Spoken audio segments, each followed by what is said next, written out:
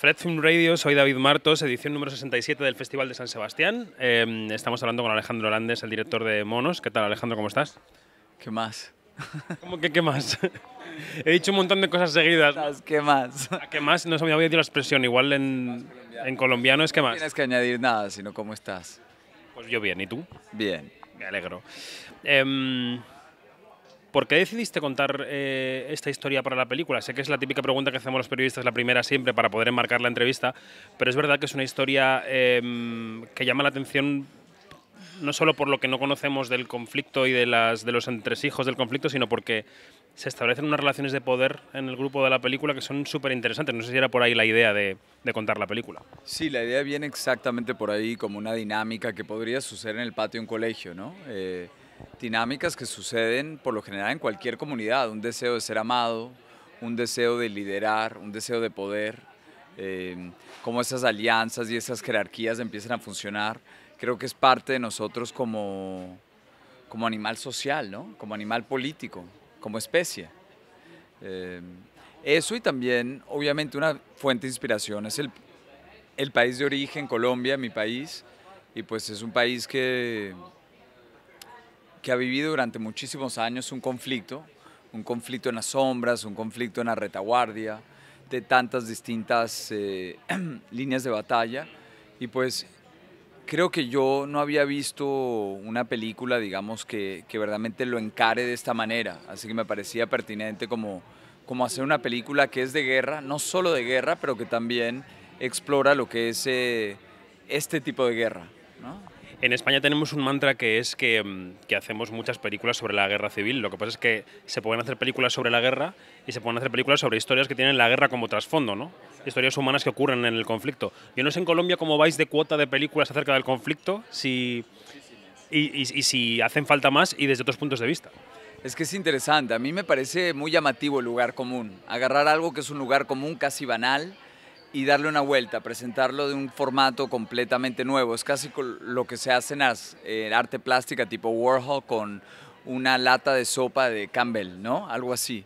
Eh, pero si hay algo novedoso con la guerra hoy en día y es que eh, la guerra que se vive en Siria, en Afganistán, en, en, Irak, es guerra muy distinta a la que conocíamos en la Primera o la Segunda Guerra Mundial. Tal vez nuestros abuelos o bisabuelos vivieron unas primeras filas de batallas muy épicas, las banderas, los uniformes, eh, las ideologías causaban unas líneas mucho más claras de batalla. Hoy en día eh, las guerras clandestinas suceden en las sombras, suceden con operaciones eh, escondidas, especiales, drones, robots.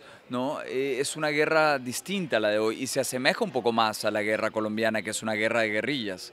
Así que yo creo que le preguntas a un ciudadano medio en Estados Unidos, oye, ¿qué está pasando en Siria? ¿Qué lado estás peleando? ¿Con quién y contra quién? Y la respuesta creo que se vuelve bastante enlodada de alguna manera, ¿no? Y además de estas guerras, luego están las guerras eh, financieras y comerciales que están por encima de todo eso y que también nos tienen sumidos en conflictos. ¿no? Vivimos en un mundo eh, cada vez más complejo y difícil de entender. Yo creo que las generaciones anteriores decían que no entendían a las siguientes, pero cada vez la siguiente generación o el siguiente mundo es más complejo. Claro, y la idea es meterte en ese no saber, en el no lugar y hacerte sentir algo dentro del no saber, porque muchas veces, por eso yo creo que a la gente le encanta ver películas de la Segunda Guerra Mundial, porque por lo menos te dejan una línea de batalla bien clara, el bueno, el malo, eh, los uniformes, hay algo como muy organizado de eso. En cambio, las guerras hoy en día, el mundo de hoy en día está mucho más complejo en cuanto al combate irregular, ¿no?